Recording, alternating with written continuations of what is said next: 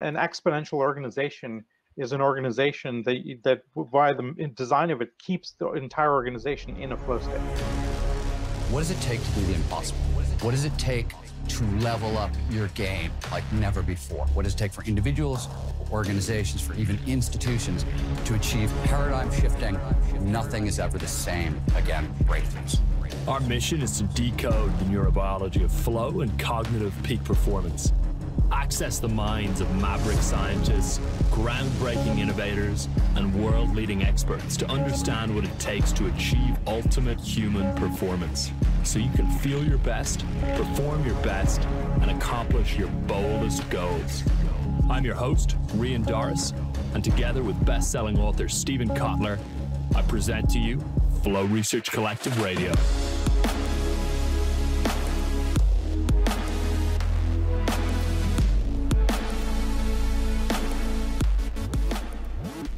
Hi, everybody. I want to take a moment to introduce each of our guests, but the topic at hand today is going to be exponential technology, entrepreneurship, and navigating entrepreneurship amidst great uncertainty, and innovation, and lots of other topics that I'm sure will naturally spiral off those. Jane is an entrepreneur and executive across many industries. She's incredibly experienced in harnessing new ideas to lead creative, mission driven organizations our current focus, which hopefully she'll tell us a little more about, is how technology is pushing the frontiers of biology forward. And with that, she launched Neolife, which is an online magazine in order to capture the stories driving a neurobiological revolution or neobiological revolution. And Jane was the co-founder and former president of Wired Magazine previously, and she also was the president of is it TCHO Chocolate Jane? Chocolates. Just say cho. It's like the first syllable. That's what it's, okay, yeah, yeah. Cho rolls off the mouth a little easier. Um, and yeah, I'd love if you could tell us about that as well. Uh, and yeah, Jane is just amazing, and we're extremely grateful to have her join us here today. And finally, we've got Salim Ismail as well. And Salim has been building disruptive digital companies as a serial entrepreneur since the early 2000s. He's a futurist. He's a best-selling author of a book I'm sure many of you have read called Exponential Organizations and another Exponential Transformation. And Salim is the founding executive director of Singularity University, which pretty much our entire audience knows of as well through Peter Diamandis, who is Steven's co-author. And Salim is also the co-founder and chairman of OpenEXO, which hopefully Salim you'll be able to tell us a little more about. And Salim has founded and led some of the most influential tech companies at the foundation of our digital society. He led Yahoo's Idea Incubator, Brickhouse, and is an X Prize Foundation board member.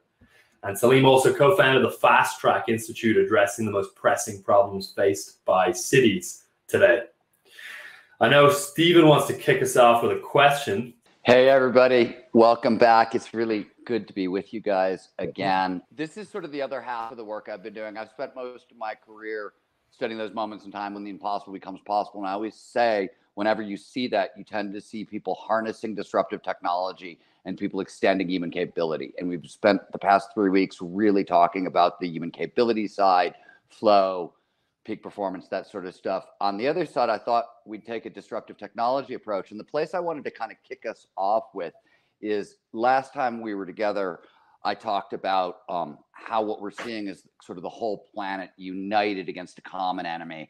And for the very first time in history, we're seeing in exponential solutions being applied to uh, an exponential problem.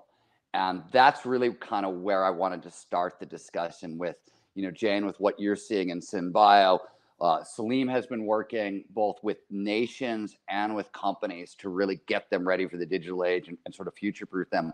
But he's immersed deeply in the tech world as well. And I just want to see what are you guys seeing that's blowing your mind that's emerging today. You know, the joke I made last week is Peter and I wrote a book called The Future is Faster Than You Think, and the future is a lot faster than we thought, right? That what's happened has sort of absolutely turbo boost. You know, we we we talked about how healthcare was going to get reinvented over the next decade. I think it's going to be reinvented over the next year, year and a half, and a bunch of other stuff. So I want to just just take a moment to pause and what are you guys seeing? Salim, why don't we start with you and then we'll jump to Jane. So from a technological perspective, I think uh, two things. One is uh, it's clear that uh, you know that we spent a decade trying to teach leaders about exponentials and the difference between linear to exponential Uh, and what's amazing is you look at the reaction to COVID and how different countries have embraced it. You can see the ones that understand exponentials and the ones that don't. And it's not a great way of learning about it, but I guess now everybody in the world knows about doubling patterns, at least, and they can see it happening going from zero to 100 to 1,000. All of a sudden, you're at 100,000 and you didn't know how you were there. So I think that's a key uh, point that gives us now a baseline to work off. Uh, I think, um, uh, Steven, your, com- your comment about we have a common enemy for the first time is really interesting and a powerful place. I think we have spent 300 years connecting ourselves economically. We have economic interdependence and capitalism driving most of the world forward, but we haven't connected ourselves culturally, uh, biologically, spiritually, tri- tribally. We're still multiple tribes, uh, and we are rife with tribal thinking. And I think the work to do now is to break down tribalism, which worked great in a scarcity world, but doesn't work great in an abundance world. Uh, and so I think that's the work to do. And how, and I'm really fascinated by how we, we would use uh, what's coming to do that. There are three technologies that I think are profoundly interesting for the next decade or two. The first is solar energy because that gives us abundance in in uh, uh, energy, and that makes lots of other things easy. And even if it doesn't cover the base load, it'll drive the price down to make it widely available in a broad way. The second, I think, is uh, blockchain uh, because it allows us to create and create systems of that are trustless. And all of our institutions are built to for mistrust and protect against mistrust. And yet now we have an ability to to build into the infrastructure trust, and we now have mechanisms like Uber or eBay where we know how to scale trust what would that look like? And I think the third uh, would be the incredible advances in in brain imaging and biosensing and the and the bio world, CRISPR and others, that give us unbelievable capabilities in uh, navigating and figuring out who we want to be. That's a fascinating response. Um, that's why I love asking Salim questions. I never, I never get the answer I'm expecting. Trust technologies, tribalism. Great answer. Jane, what do you think? Well, I have a far more prosaic um, uh, answer to that. Um, but one of the things that I think is really interesting that I have been seeing in uh, the life sciences and the place where engineering and biology intersect uh, is this incredible pivot. Just how quickly companies have gone from doing, you know, cancer vaccine research to, you know, deploying completely new tools and skills to go after a completely new target. And um, I'm really, really blown away by that. You know, you talk to companies that might have been shut down because what they were doing was not considered essential business, who have now made themselves into the very center of um, our solutions to the pandemic. I mean, we, um, I could talk like this morning, there was a, a town hall with uh, Illumina, who are the makers, uh, the largest makers of uh, genome sequencing technology. Mm-hmm. And, you know, the applications for that have just quadrupled. Um, the demand for that has quadrupled. Um, you know, we're looking at the various tools of synthetic biology. Um, so once we can read the genome, you know, how what can we do to actually edit and write the genome um, in new ways? So how can we synthesize, you know, little segments of the um, of the genome of the virus uh, in order to propagate that to all of the researchers so that they can start doing targeting and and testing and so forth. I mean, the holy grail is um, diagnostics, right? Diagnostics and testing, treatment, and vaccines. And so, literally, all of the tools of um, of the life sciences are being used now in one way or another um, for those applications. Uh, and I can tell you about a bunch of different companies that are doing things, you know, both from a, a technology point of view and also from a, an investment standpoint um, because every day there's another announcement, including there's a company that does um, basically instead of making wine from grapes and sake from rice, they basically get the aromatics of those and then use the molecules to build from scratch uh, the same flavors that you would get without having to harvest or ferment or distill those things. And so, you know, that's kind of fun and interesting. And uh, and so they, of course, have now pivoted along with all the other alcohol manufacturers to doing hand sanitizers. Um, right. You know, we were joking earlier about the uh, the cancer vaccine researchers in Kentucky who are now uh, switching to figure out how to use the tobacco plant as a mechanism for um, for growing and um, and creating a vaccine. So um, I would say the the technologies that I talk about, what I refer to as like the neobiological technologies, which is like sequencing and big data, uh, you know, neural networks, imaging, you know, and then of course all of the networks for distributing all of that information. All of those technologies are getting a huge boost of mm-hmm. um, of interest, of investment, new ways of applying them, you know, to this new outcome.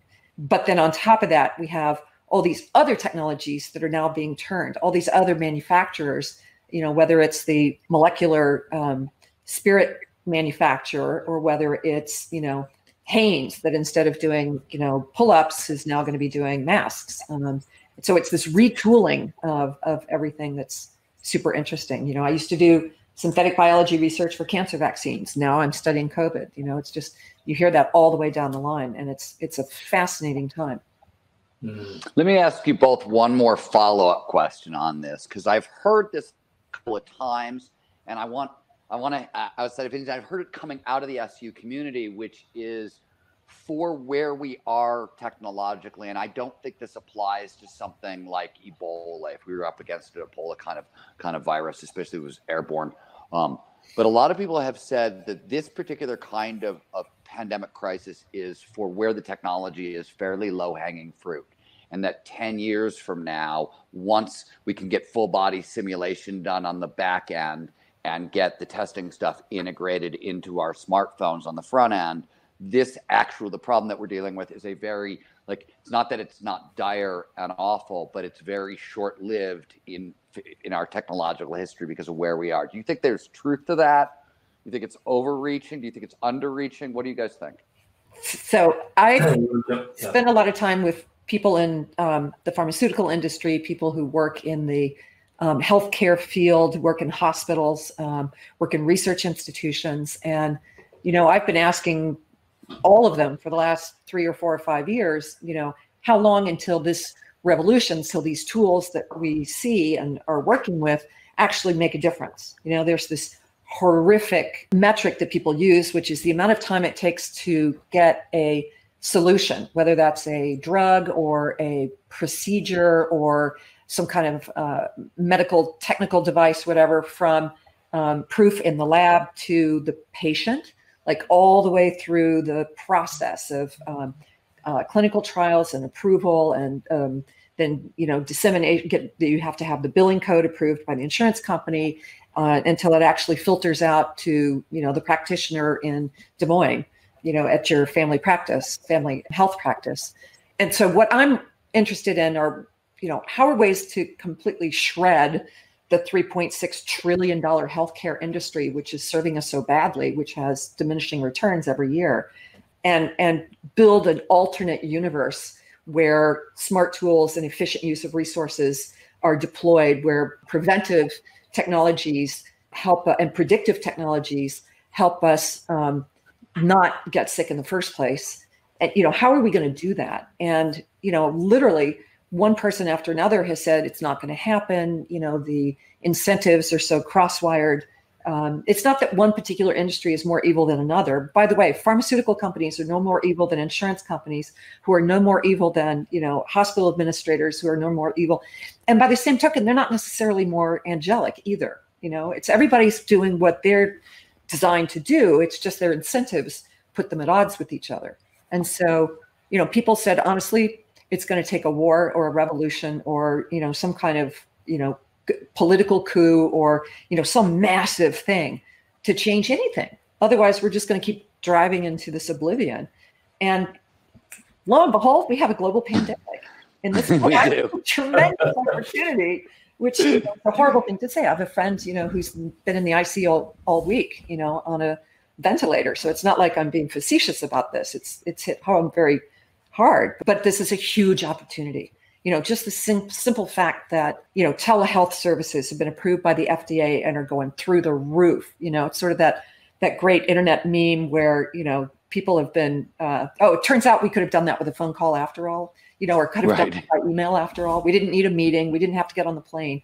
You know, it's like same thing. We don't have to go sit in the hospital and doctor's offices where we are more likely to catch, you know, sepsis or you know some other airborne uh, virus.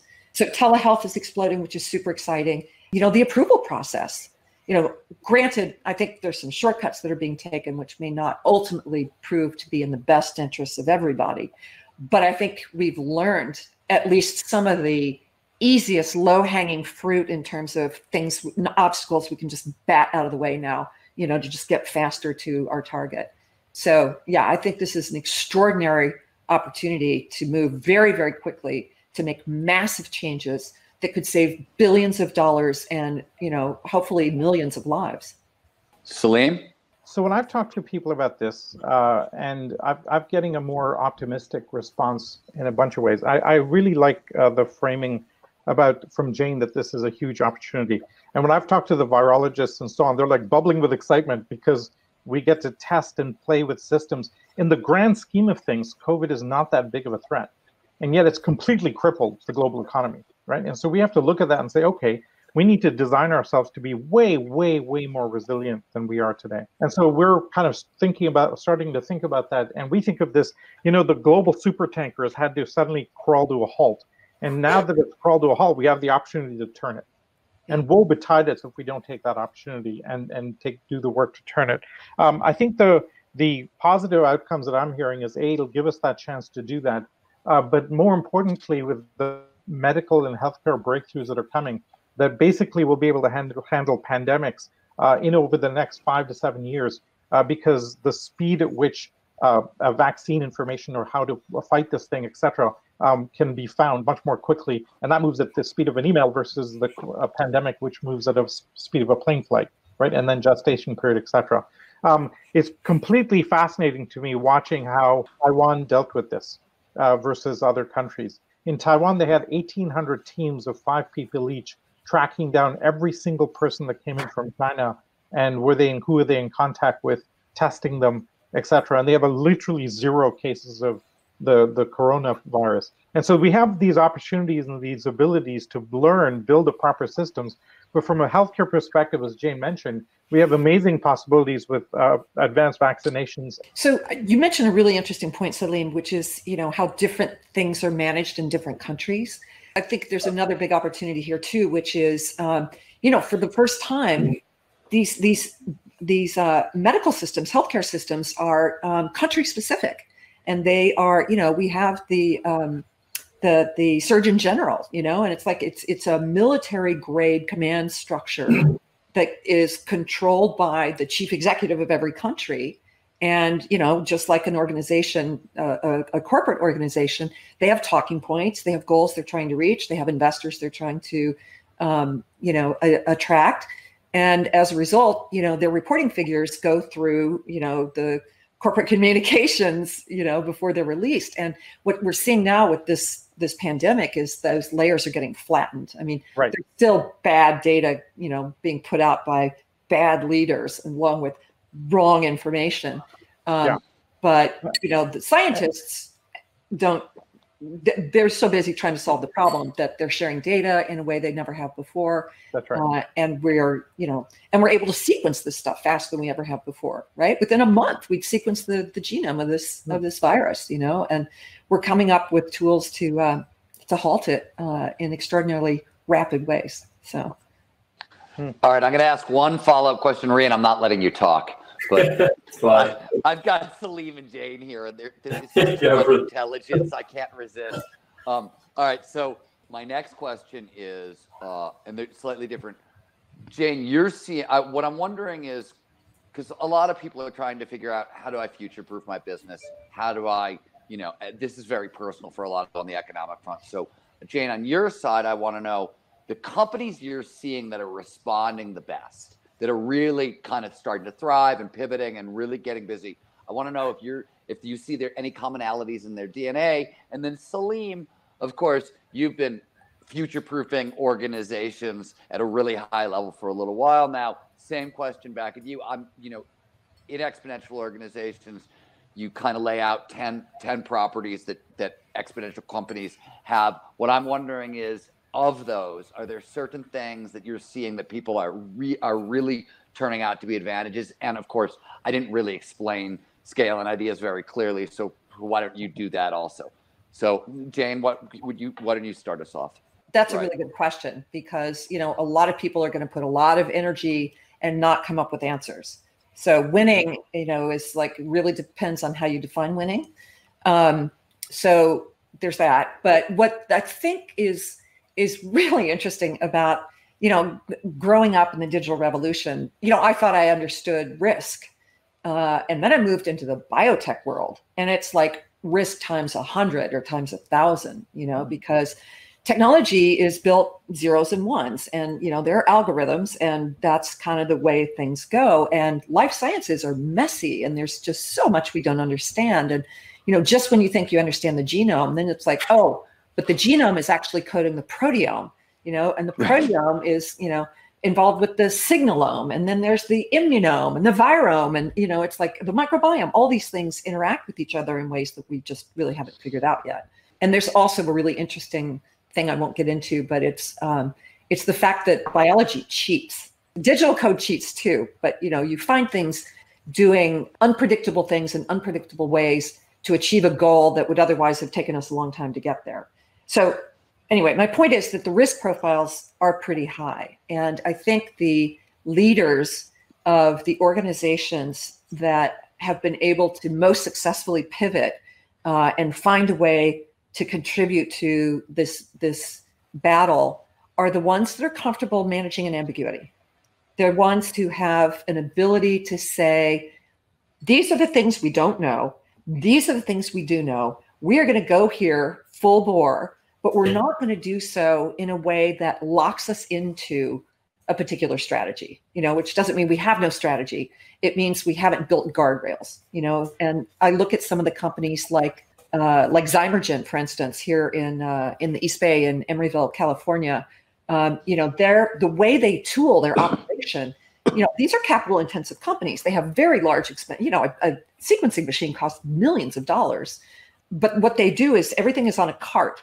You know, and so everything is modular, and they can tool up for a particular approach to a disease or or uh, or a drug or what have you. But it's nothing is you know, I came from a chocolate factory. You know, everything was bolted to the ground, and it took us, you know, two years to build. And it's like I'm just so impressed with how quickly uh, they can move. It's like a museum, you know, that doesn't build stationary walls. They build temporary walls that can be moved around or torn down or repainted or whatever. It's, uh, I think that's probably the single most common element I would see.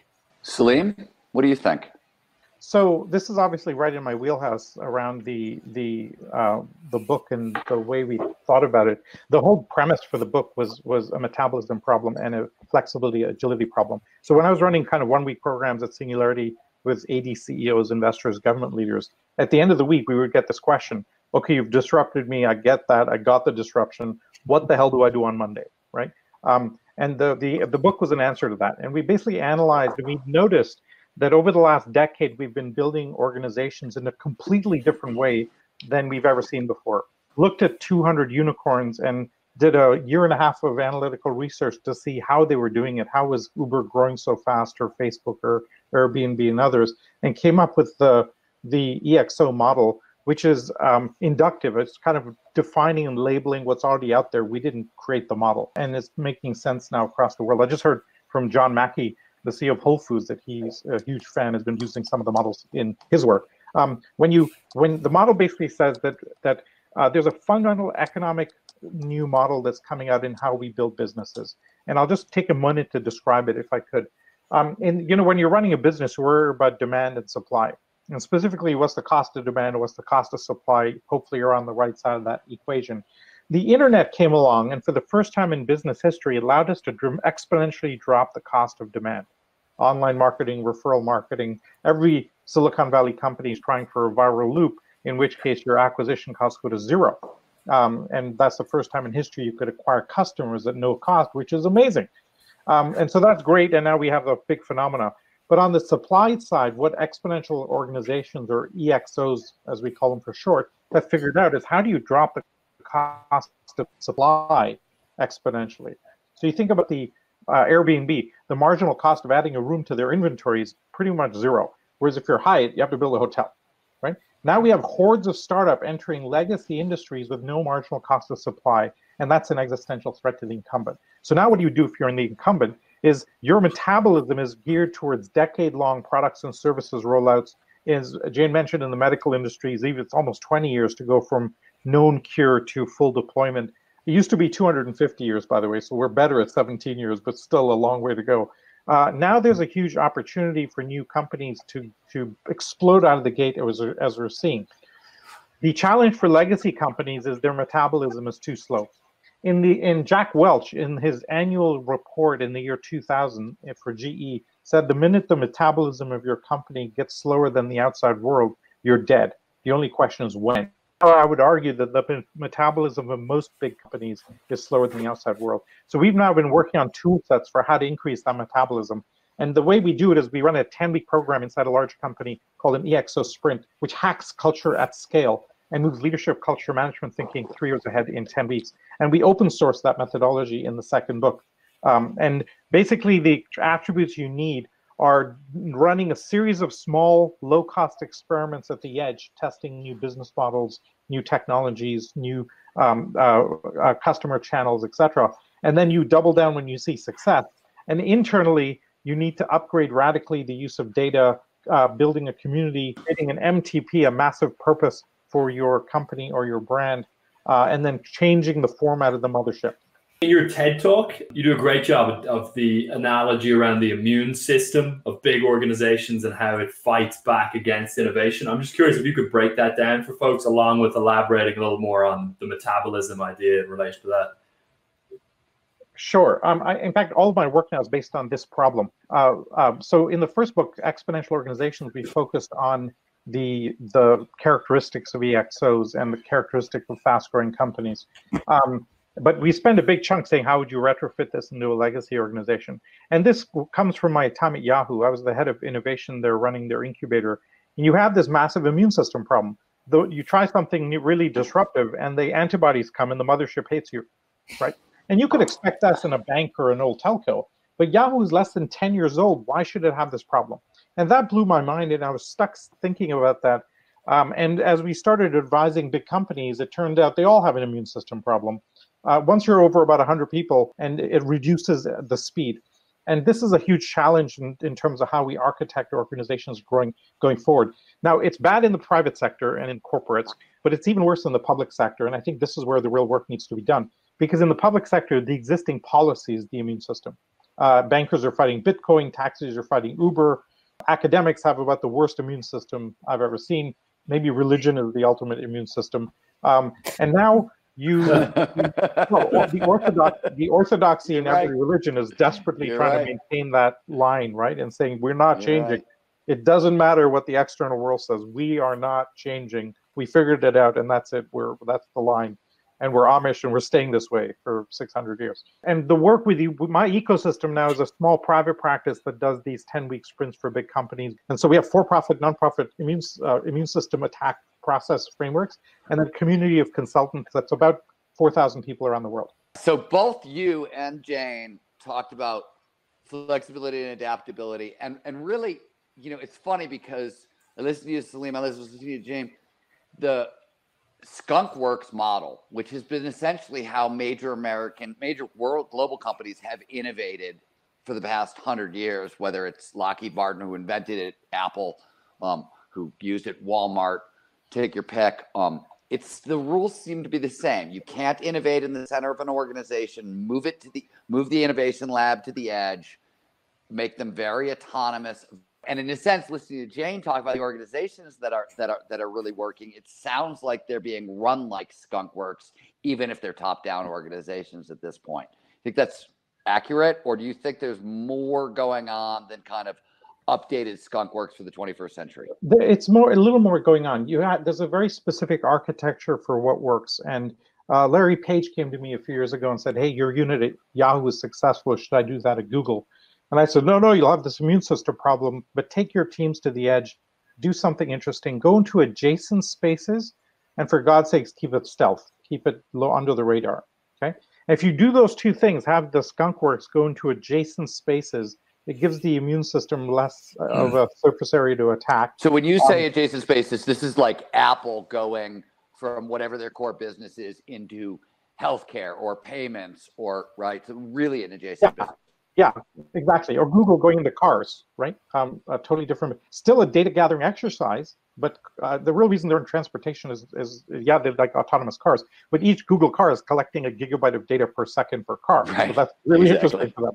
Uh, they're ma- you know, if you move your flower pot on your windowsill, windowsill, Google will know um, uh, in the future. And so now uh, they're mapping the world in real time, and that's really interesting from that perspective. And so the, I talked to Larry and I said, this would be how I would think about it. And Google X is the result of that. The master of this technique is indeed Apple. And not because they have a great design capability or a great supply chain, but the fact that the way they operate is they will take a small team that's really disruptive, take that team to the edge of the organization, keep them completely stealth and secret, and they will say to them, go disrupt another industry, right? Literally nobody does this, and nobody's even noticed that this is what they do.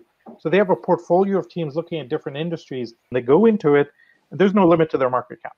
Uh, and I think that's the model that more and more other companies will have to follow this kind of portfolio approach. I completely agree with you, Salim. And uh, I'm sitting here listening to you thinking, you know, the people who I think are at the bleeding edge, the people that I see having the most um, success are success. the people who are willing to go be. Uh, so I have a friend who started out as a neuroscientist and at the age of 50 retrained as a geneticist and is now doing groundbreaking work in some of the least sexy aspects of medicine, which is um, basically translational medicine, which is taking the results from the lab and deploying them in the clinic to see what the clinical results can be. Uh, and so in his case, his name is Dr. Robert Green. Um, and what he's doing is sequencing uh, patients and then using that information in a clinical setting in order to show, you know, basically the FDA and the AMA and and so forth, how clinicians will use the information and why we should switch now to sequencing all patients, including at birth. Um, and I think part of what enabled him to do that was jumping from one very deep silo, because, you know, genetics and neuroscience are completely siloed. They're just on opposite sides of the campus and they don't have time to talk to each other because there's so many developments um, in their fields all the time. So they need, yeah. And I, you know, I have a great example, a woman named um, Angela Belcher, uh, you know, who was an electrical engineer at MIT. And, you know, she took um, technology that she'd been working on uh, around nanotubules and was able to uh, walk into an operating theater for, for oncology surgery and say, oh, you know, I can figure out how to shine light on that tumor so that as you're as the surgeon is excising the tumor, they can actually see. I can light up what the edges of that tumor are so that you can see that you. Oh, she was working on ovarian cancer. Right. Exactly. That's right. Yeah. Amazing. Really amazing. Cool amazing. work. Yeah. Yeah. Yeah. Really amazing it, work. It takes that beginner's eye, you know, um, and it takes multiple skill sets.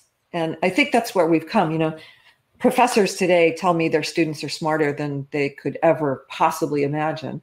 And it's because they've grown up with access to all the world's information and you know the right. expectation that they would master far greater amounts of, of knowledge and, and experience. And of course, they're getting it not just from academics, they're getting it from you know all these other inputs as well. And so they're primed to be experts um, or at least to have a passing knowledge um, of a lot of different fields. And if they don't, they can just, you know, look it up on YouTube.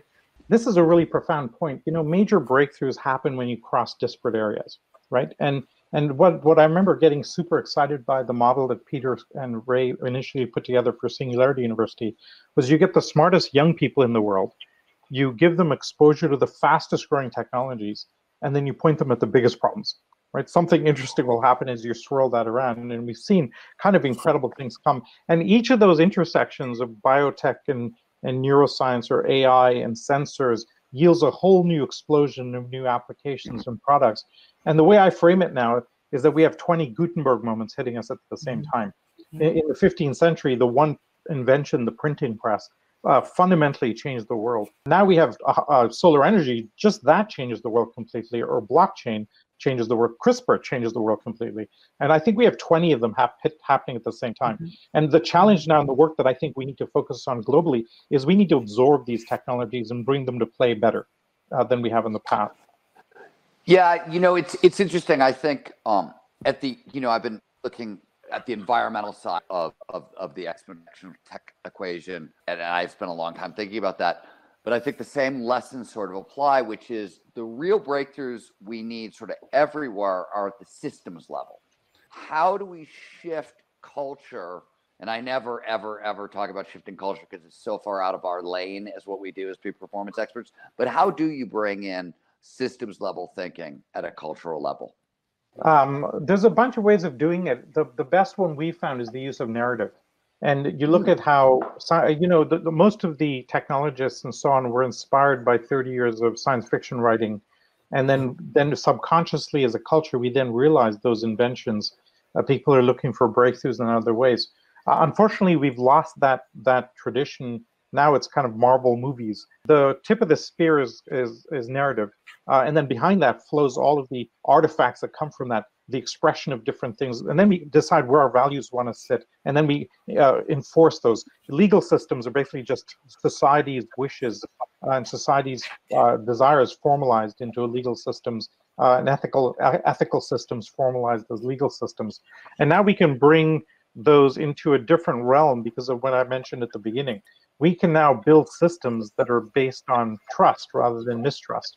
Uh, Jerry Michalski, uh, one of our friends in the Bay Area, uh, well known to a lot of us, has made this amazing comment. He said, "Scarcity equals abundance minus trust."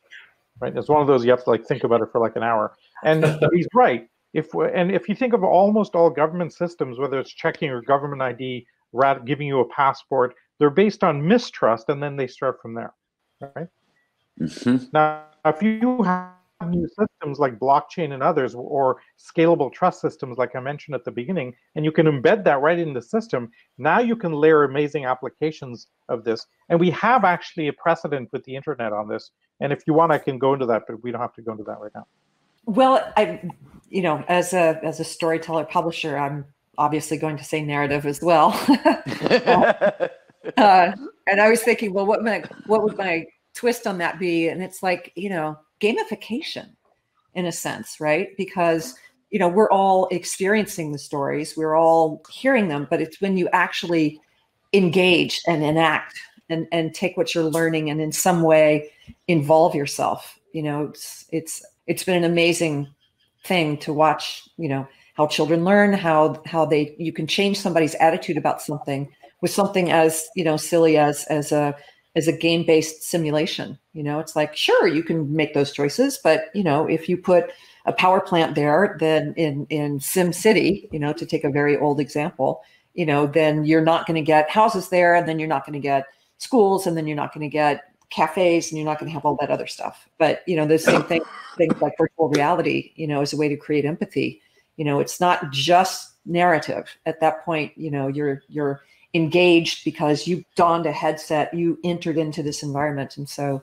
Um, I, am going to throw out this my dream mayoral debate of the future is you have four candidates for mayor, and they're all playing SimCity for like a day, and you see how they do, and you'll see who the candidate should be right there.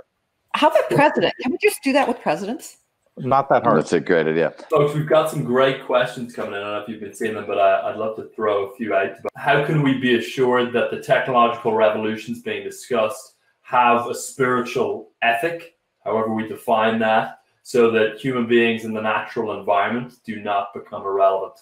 I think it's it's incredibly necessary you know, if we'd gone back in the 60s and had instrumented the coal-fired plants and the fossil fuel plants and knew what we were, the damage we were doing to the climate, we might have done things very differently. And the technologies we have today are billions of times more powerful than they were 20 years ago. And so when we have see people building systems of these new technologies, for God's sakes, instrument the hell out of them. Uh, and we've done actually a pretty good job in the in the 70s. The biotech uh, world got together and created the Asilomar guidelines, and said if you have an infectious substance and you spill it, what should you have at hand to clean it up? Who should you call? How do you uh, secure the, the area, et cetera, et cetera? And we've not had a major accident in 40 years. And that kind of systemic thinking, again, back to the earlier point of think through the, the systemic implications of when things go wrong and not, means that you can actually do things very powerfully. I'm a huge, obviously, technology optimist from the point of view that technology is a major driver of progress in the world. And frankly, it might be the only major driver of progress we've ever had, and by far the most powerful. Um, now we have a dozen technologies accelerating, gets us super excited about where the world is going. The big challenge is how, how do you extract the promise without the peril, right, of it? Mm-hmm. And we've done a pretty good job up till now. We've, we've extracted incredible amounts of value from the steam engine and from um, machines and engines and fossil fuels, etc. Now we have to take in the whole cost of it. And I was talking to a guy called Lawrence Bloom, who uh, gave me the best kind of metaphor for how to think about the transition the world is going through right now. He said, think about a, a, rocket in multiple stages going into Earth. You have the big fat booster rocket that's blowing energy out the back end and then getting you out of Earth, Earth orbit. And once it's there, you jettison that that big fat horrible rocket, and you have a much smaller, more elegant craft that takes you to the next level. And we're kind of at that inflection point where capitalism and fossil fuels and so on have gotten us to this incredible point uh, and now we need to jettison that and come up with new, uh, lighter, more elegant, structured craft for where we're going.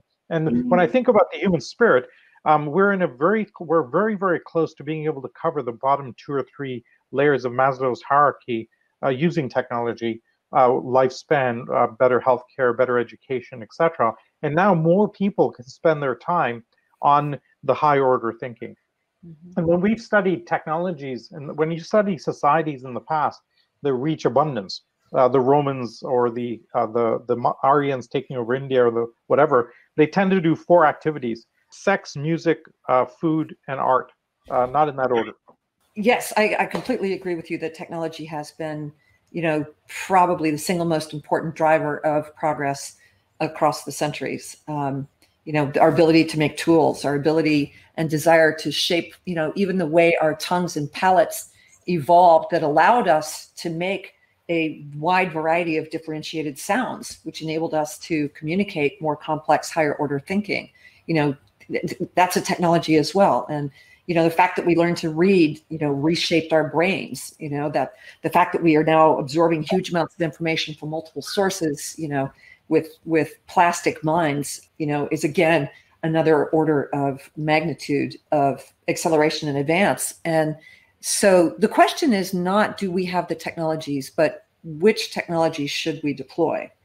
And you know, I don't think we've ever consciously said, "Oh, yes, let's build that and not that." You know, I mean, the Manhattan Project said, "Well, we we could not build this uh, because we know this is going to be a horrible technology. On the other hand, we have to build this because it's going to stop the war."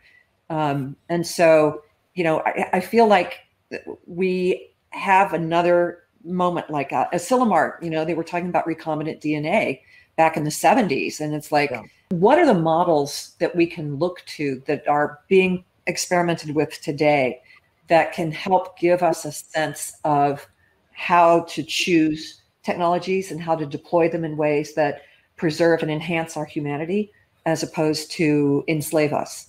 You know, we've run the world for the last few hundred years on a very male archetype, top-down command and control hierarchical systems like Judeo-Christian religions and the military-industrial complex and the corporation and so on. And again, it's that big booster rocket that got us to a certain point.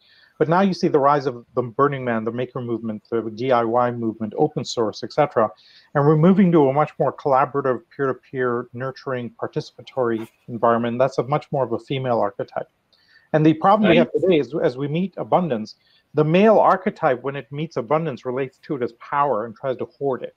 Uh, Wall Street money, Middle East oil. Uh, the female archetype, when it meets abundance, shares it around, which we, when we see information on the internet, we share it around. Um, and so we need to move to the female archetype uh, and the characteristics of that archetype as we move more and more towards abundance, which is what technology is delivering for us. So the so the technology is not the concern; it's the way in which technological evolution is, is happening. You can't the yeah, exactly. Concept. Yeah, exactly right. You know, uh, um, you have the open versus closed ar- argument, right? With open source versus closed, and over time, open source always wins. But you always get people building mm-hmm. an amazing system and then trying to put words, walls around it, not letting anybody else in. And then the open source people fight back, and we go back and forth.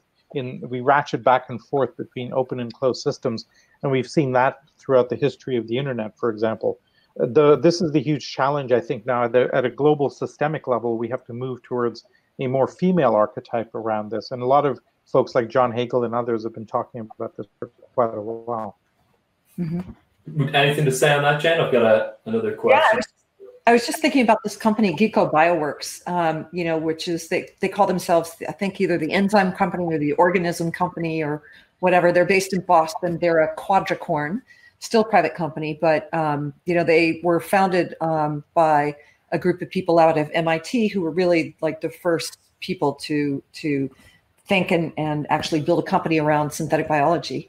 So they announced a $25 million uh, opening up of their platform uh, to allow uh, anybody who was you know got a, a scalable solution to come on. So they're giving away $25 million worth of, of value, essentially.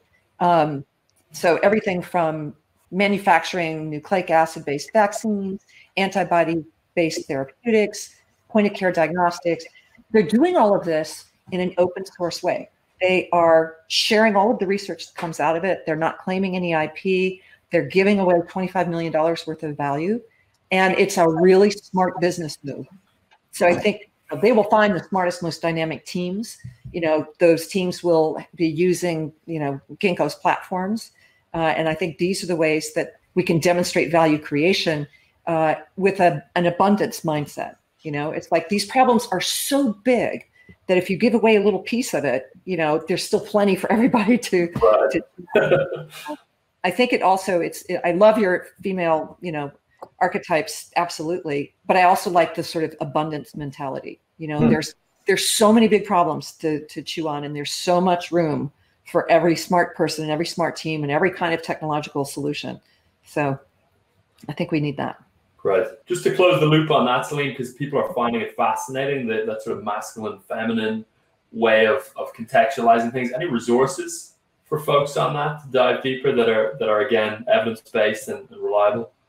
Um, I did a. I, I'll give you a great one. You know when the E.O. Wilson documents this little uh, case study of genet around genetics. So in Central America, you have fire ants and they have hives and they war against each other and it's just unbelievable carnage and violence because they're fighting over scant resources and they they were kind of predominantly in central america and then they moved into the us and they found abundance they literally changed their genetics and in the us fire ants don't fight each other they collaborate yeah. and right there you see nature figuring it out and we're sitting here going oh we have abundance let's fight over it i mean it's just mind-boggling that we can't bring that kind of intelligence to the fore. Uh, and so I think there's lots of areas where we can. This is cultural anthropology in a sense, writ large. If you look at um, uh, throughout history, we've gone we've gone back and forth between the male and female archetype to go through progress. Feudal systems were very top-down structures where power aggregated, and then democracy came and broke that up. Now we've got corporate structures trying to actually break down democracy, which is what's been happening uh, and take power there. And we'll go now. We have the open source movement uh, coming along. The thing that is a, the killer in this and breaks this cycle and moves us permanently into this is the sheer democratization of all of these technologies. As Peter and uh, Steven write in Abundance, the six Ds. The, the democratization means that anybody has access to these technologies. And this is super important because throughout the history of our world, it's always been true that advanced technologies cost a lot and only a big government could afford to R- do R&D, produce new products and services, the pharma world in its in its in its traditional state, etc. But today, for the first time in human history, advanced technologies are really inexpensive. You know, CRISPR is pretty inexpensive. Gene sequencing is now incredibly inexpensive. Solar energy is inexpensive. The blockchain is open source and free. And now it means that anybody can mm-hmm. innovate. And I'll give a very specific example. In, there was a fishing village in Vietnam where once a month a big ship used to arrive to de- deliver diesel fuel for their fishing boats. Then the ship stopped coming, and all of a sudden they have no ability to, to fuel their boats and they're stuck. What do they do? So one of them looks on the internet, orders a solar panel, looks up instructions, puts a solar panel on the canopy of the boat, uh, connects it to the propeller, and puts in the little capacitors and whatever, and they've invented a solar powered boat. So now here you have cutting edge innovation using just uh, super cutting edge technologies at the edge of civilization that cost literally nothing. That kind of example we're going to see an explosion of, uh, and that's why this is unstoppable. And this is why we're going to move to this. The only question is how, and how do we do the regulatory and mitigation of that? You see maker nurses who are engineering these, you know, just they're desperate. And i think desperation breeds you know incredible innovation you know or people in the third world developing countries who are having to deal with this you know? What is the least um, expensive easiest to get you know method of protecting somebody from spreading the, the vaccine? You know the other thing i was going to say is i think this pandemic is giving us a moment to reflect on how connected we all are. And as we do that we realize that everything we are doing with our society, from the the food that we put in our mouths to the energy that we are using, it all affects our health. And as my grandmother used to say, if you don't have your health, you don't have anything. Mm-hmm. And so by shred, shredding all the rest of the stuff and bringing it down to, am I safe? Am I healthy? You know, and, and what are the things that will make me less safe and less healthy? It's like bad air, you know, um, un, unhealthy living conditions, et cetera. So now is a chance to see how all of these systems work together how our food systems and our medical systems and our energy systems and um, our waste removal or lack of waste removal how they all work together so i think we have a, a big opportunity mm-hmm. here so there's a lot of folks on and who will be watching this who are business owners uh, a lot of whom are, are small business owners Steven and i were at the Singularity University campus not too long ago for the launch of the Future's You Think. And one of the things Peter said that really caught me was that in the within the next 20 years, there's going to be two kinds of companies. It's going to be AI companies and bankrupt companies. And so, what would all of you say to the folks out there who have businesses who are watching this, who do not, who are not within tech, who do have a marginal cost of replication for whatever their services are, around pivoting, around thinking about the future in general, and around what to do on Monday. You know, you know, Kevin Kelly made this amazing point in uh, one of his books where he said the next ten thousand plan business plans you're going to take a domain and add AI to it. I think the the what's going to happen is is each of these technologies become uh, kind of fundamental um, 3D printing or others, will it'll become part of the infrastructure of any company. It's to making things, building things, etc. Just like if you have a web uh, if you're building a website now, there's so many capabilities. They're all now built in that you can throw one up very, very quickly. And each time we add a new capability to the layer, it amplifies the, the overall capability into a really profound capability. And this adds the, to the zeitgeist of innovation, which is hurtling forward super fast. Yeah, I mean, I'm I'm just looking forward to transitioning from you know industrial manufacturing to biological manufacturing. You know once we can see how much faster you know fewer inputs less water less land less pesticides and, and herbicides um, you know the ability to just transmit a file download the file 3d print it there. I mean you know there's a huge opportunity here um, and we're not that far away from it. Hmm. I just want to ask you one quick question Jane, on that note which is just if you could um, backtracks us a little, bit, explain the neobiological revolution a little. I think folks oh, find that really interesting. Sure.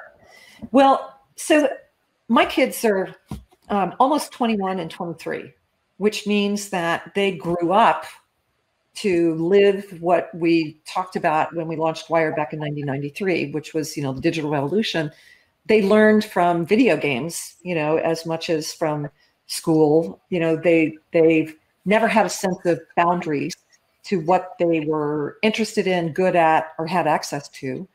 And so, you know, the question then, and and, and of course, we've seen the economic disruption over the course of the last 25 years.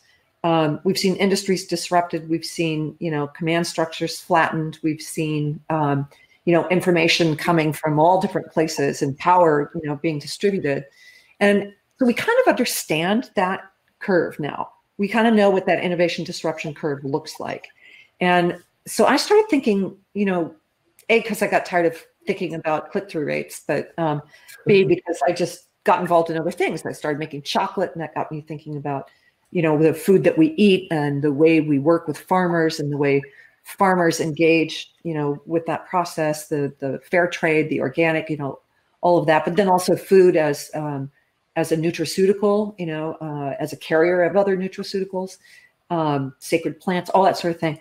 Um, and I just started thinking about what the next stage of the digital revolution was, you know, because if it's you know social media. I mean, blockchain definitely. Um, but where where does it take us? And suddenly, I had um, some crises uh, in my family. I had three octogenarians who suddenly became my responsibility, and um, so I ended up going to guess where? Singularity University, um, and I I learned you know what exponential medicine was all about, and I just had this shocking moment where I realized it's so much like the world as I saw it in 1991, you know, and I looked at the people in the room who weren't just PhDs in neuroscience or you know molecular biology or or genetic engineering, you know they were also hackers. They also had to have these digital skills.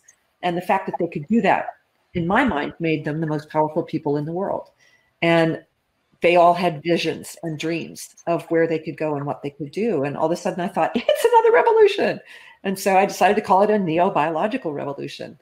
And, you know, interestingly, my colleague at Wired, Kevin Kelly, had written a book. He was writing a book when we launched Wired, and he took a sabbatical from the Whole Earth catalog to write his book. He took a sabbatical from his book to help us launch Wired. And Mm-hmm. Then we launched it, he went back to finish his book and went on book tour, and then ultimately came back to Wired. But um, the original subtitle of his book, Out of Control, which if you haven't read it, it's still amazing, uh, as is everything Kevin produces. Uh, but the subtitle was Fast Forward into Neobiological Civilization. And I picked it up again and I realized that the stuff he'd been writing about 25 years ago is now available to us. You know, we've sequenced the genome, we can now edit the genome, and we're working on creating synthetic genomes. Um, you know, we've got emergent systems that we can harness. You know, we can reprogram, yes, viruses, yes, algae and bacteria uh, and fungus. Uh, we can see inside the brain, we can see inside the body, and we can harness those biological systems not only for um, for our own personal health, but also for new materials, for new energy sources, um, for new agricultural processes. And so that's my focus now. I'm fascinated by biological systems. I'm super motivated by my own personal health. I'm terrified of, you know, cognitive decline. I'm also terrified of the effect of cognitive decline on our society and our economy and on our families, you know, because I was sandwich generation with kids at home and, you know, three octogenarians 2,500 miles away with a combination of cognitive decline and mental health. And it's like the mental health crisis in our country and around the world is is shocking. Um, and so, you know, huge loss of productivity, but more to the point, you know, it's the loss of the will to live. And, you know, maybe a lot of that's being driven by our 24-7 culture, our, you know, dominance of, of economic incentives uh, and our overwhelming amount of technology that we haven't evolved sociological relationships with yet. You know, the fact that people have to be told to put your device down, you know, it's making you crazy is is I think people in 50 years will look back on us and go, wow, why did you? It was sort of like reminds me of the turn of the century when everybody was drunk because there was no clean water.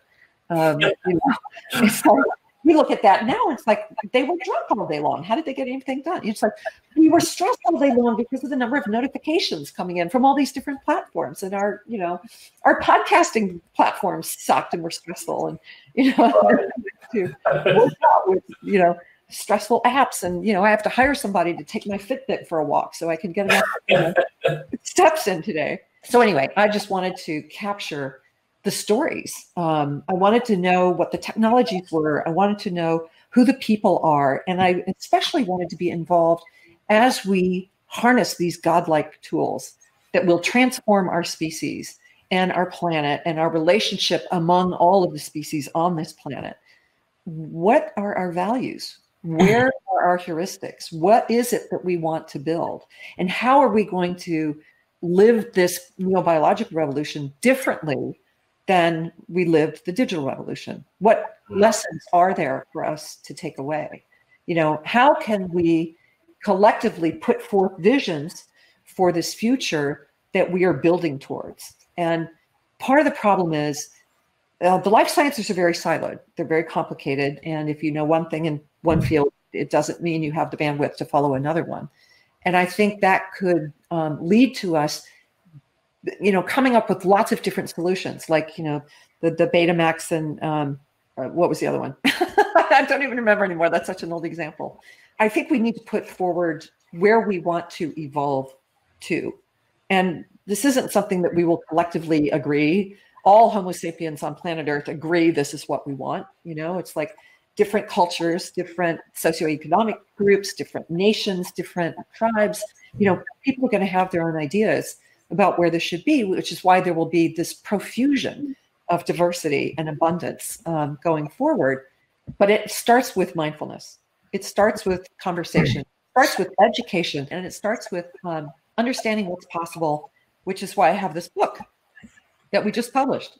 25 visions for the future of our species. Just to build on that, Jane, so it seems like Singularity University has had a huge impact or interrelationship with everyone here, including Steven. One of the big things that Peter talks about in Singularity in general is the idea of people having a massively transformative purpose or an MTP. I'm curious what all of your thoughts are around developing an MTP, a massively transformative purpose in general, but then especially out of this current time of adversity, because I think it can be quite a good time to really get clear on what actually matters. And as you're saying, Jane, align around some kind of intention or mission when we examined these uh, EXOs and looked at the rise of them, it, it, it, was the one common attribute across all of them. They all had an MTP. So we came up with the phrase massive transformative purpose to describe this this new thing, like Google organized the world's information, etc. We found that everyone had it because in a period of hypergrowth, it focuses attention and uh, allows you to do great hiring and retention. In fact, we're starting to see you you'll hire people based on alignment of the company's MTP and the individual's MTP. Right? Um, and now most projects are getting launched uh, with this phenomenon in mind. We did a project for uh, uh some big companies, and now we're starting to see brands morph their brand promises to MTPs. Uh, and so that's kind of getting uh, more popular. For us, when we look at it, it's kind of existential and important to go forward with, with something like that for any project that you do, because it sets the the the kind of the pinpoint in the future horizon, defines the moonshots along the way that you want to get to, and mm. it, and you kind of take on. It doesn't have to be that you want to you know go to Mars. It can be simply be I'm going to transform the shaving industry, and you have Dollar Shave Club right? Uh, which is a dollar a month for shaving or whatever their thing is. And so that becomes really powerful into to the framing of that. Then that, then you kind of put in all the instruments that allow you to get there and build your your vehicle to allow you to get there. So, uh, Jane and Salim, I want to be sensitive to both of your time. I know you've already been with us for Uh, well over an hour now. So, I've got two more quick questions for well, all three of you. One of the things people come to us with as a challenge is being caught in the machine of their business. And they're often told that in order to get leverage, they need to build systems and processes and procedures. What's the threshold or cutoff point where that leads to bureaucracy rather than efficiency and then ends up starving innovation. And you mentioned Salim, 100 people is, is obviously some kind of rough indicator, but I'm wondering if you'd say a little bit more about that. So yeah, it, doesn't have to do with really the size because if you set the right structure in place, you can scale um, uh, infinitely to this in this model. Uh, I'll give you a, a really profound example that's really dramatic. Uh, there's a Chinese appliance manufacturer called Haier, H A I E R. They make 55 million fridges and ovens a year, 80,000 people. Uh, and they used to be or- organized in a top down classic hierarchical uh, pyramid structure. And one day the CEO looked at the org structure and decided, I can't keep meet my corporate goals this way. Blew it up, turned 80,000 people into 2,000 autonomous teams of about 40 people each. Uh, each mm-hmm. team elects their own leader. Each team has a P&L, and most crazy, each team decides whatever they want to do. Now that's insane. You go to any business school in the world and say, I want to make 55 million fridges, and they'll tell you you need a ton of centralized product strategy, demand forecasting, inventory management, et cetera, et cetera. No, you don't. Who knew, right? And the the challenge that we have is we have to unlearn 50 years of MBA thinking, which is geared almost exclusively towards having companies that are efficient and predictable. Um, and this is what John Hagel has talked about a lot in his work. Now we need companies that are agile, uh, flexible, fast, and and kind of decentralized to be able to react quickly, and they're adaptable. Okay, And this requires a decentralized group where the teams kind of decide what they want to do. And if you look at the modern team companies like the Apples, the Googles, the LinkedIn's, the Facebooks, the Twitters, they all use OKRs or objectives and key results as the mechanism to do human performance measurement and team performance measurement, which is better than the old quarterly uh, things. And God help us if you're doing stack rankings or 360s and stuff, the really old stuff.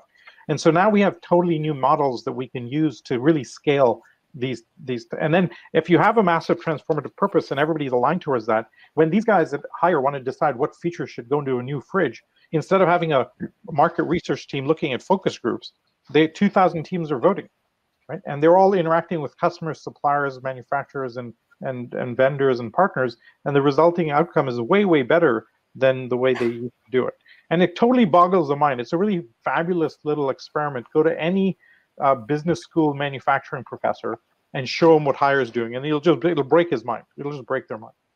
I think it's really helpful. So so essentially, when designing your organization, use much more cutting edge, more recent organizational design principles like yeah, lean, Scrum, sprints, design thinking, that that kind of thing, because they foster innovation much more. It sounds like.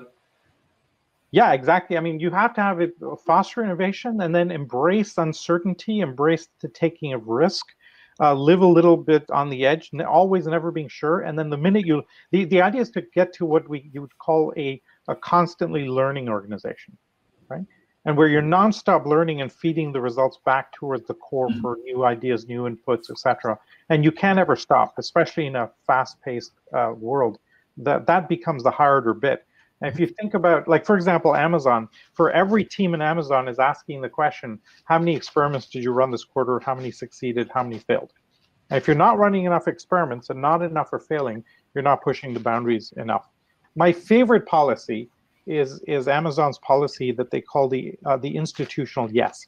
So they created a, a, a policy where if you come to me inside Amazon with an idea, my default answer has to be yes. If I want to say no, I have to write a two-page thesis on why it's a bad idea and post it publicly on the internet. So they've created friction and embarrassment to saying no, meaning that many more ideas get tested. Because it's way easier for me to say, yeah, just go do it before I. Otherwise, I have to write a two-page thing and I have to think about it, right?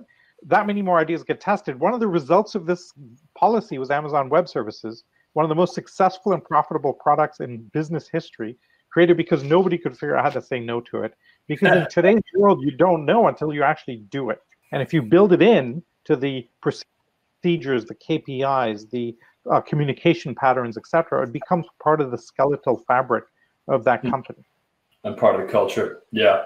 It's, it's so fascinating. We can go deeper on it at some other point, but how these kind of top down organizational policies map very tightly to what you could call kind of bottom up individual flow triggers, like Steven posted in the comments there, that an institutional yes involves a flow trigger called Yes and, which Keith Sawyer talks about. That's right. Group Genius. That's right. In fact, in fact, where we've kind of really we geek out uh, uh, in discussions is that uh, an exponential organization is an organization that that by the design of it keeps the entire organization in a flow state. Mm, yeah, I love that. That's fascinating. Um, Jane, do you, do you have anything to add on that? I've got one more question, uh, which I'd like to start with you on. If go for it. So one of the other things we do a lot of is, is help people again individually deal with VUCA conditions professionally, volatility, uncertainty, complexity, ambiguity. And I know you mentioned ambiguity. It's kind of a two two part question, which which goes off what you just said, Salim. But question one is how organizationally do you think, Jane, companies can design to thrive in VUCA? And then I'm curious as well before before we let both of you go how both of you personally tackle um, that issue of just thriving within VUCA conditions and handling ambiguity effectively. Mm-hmm. So I have never worked in a large organization. The largest organization I've ever worked in is the one I built, which was Wired, which, you know, at its peak, I think we had about 385 people.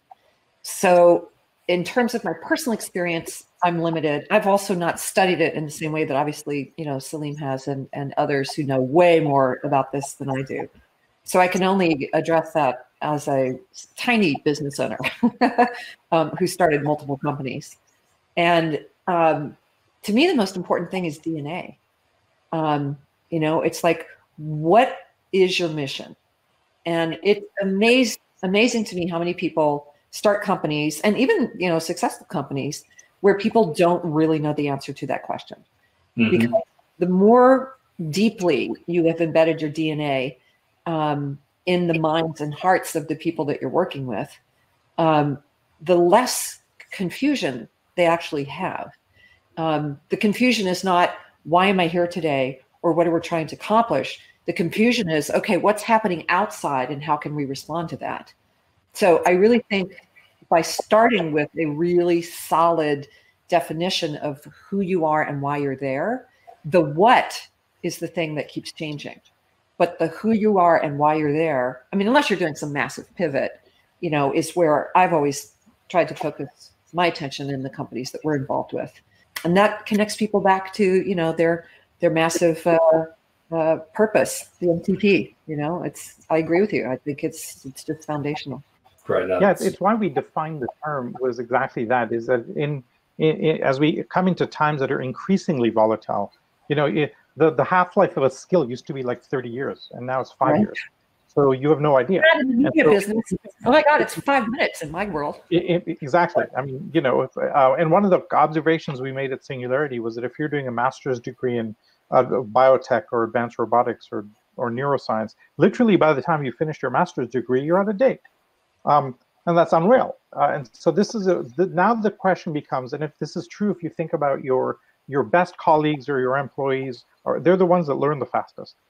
Right. And those are the most valuable people around you. And therefore, the if you writ large, that means that organizations that learn the fastest and are designed for it, going more into the Robert's world, which is what he's trying to do all the time, is have and build organizations that are learning better nonstop. By definition, you're going to be because there's no strategy that gets to where you want to go. Uh, the the world is changing too fast. By the time you've got a strategy, it's out of date. Yeah, so the other thing too is is um, I mean, particularly coming back to the media question, you know, I I was originally looking for people to help me on my team, and you know, people would say, "Well, I know this technology, but I don't know that one." It was like, "Oh, well, where we're the people who know this stuff," and everybody was like, "Nobody knows this stuff." You know.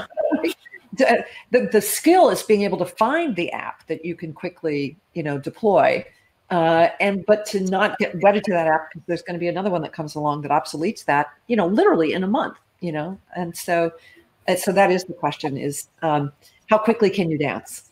Yeah. Yeah um, there's a great book that, that Steven recommends uh, often called range by david epstein.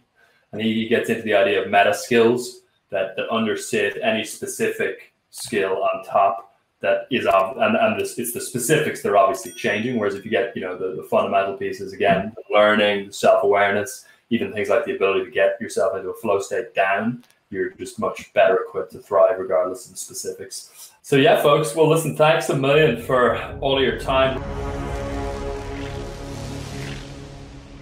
If what you've heard on Flow Research Collective Radio has been helpful, please consider doing us a solid and leaving us a review on Apple Podcasts, Spotify, or wherever you are listening to this. Reviews help us connect to a wider audience so we can get these peak performance principles out to more people.